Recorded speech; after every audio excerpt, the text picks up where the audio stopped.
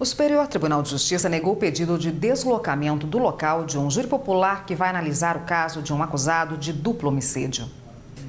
O ministro Humberto Martins, presidente em exercício do STJ, decidiu não aceitar o pedido da Defensoria Pública do Mato Grosso do Sul em favor de um topógrafo que matou a facadas a esposa e a sogra. De acordo com a denúncia, o crime foi motivado por ciúmes e gerou grande comoção na cidade de Carapó, que fica no interior de Mato Grosso do Sul, onde vai ser o julgamento.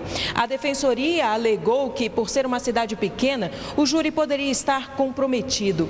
Mas a Justiça do Estado negou o pedido de deslocamento do júri. O ministro Humberto Martins concordou com o entendimento da Justiça do Estado de que a repercussão social do crime não é motivo para deslocar o júri. O ministro solicitou informações sobre o andamento do processo, já que o mérito do habeas corpus será analisado ainda pelos ministros da quinta turma do STJ.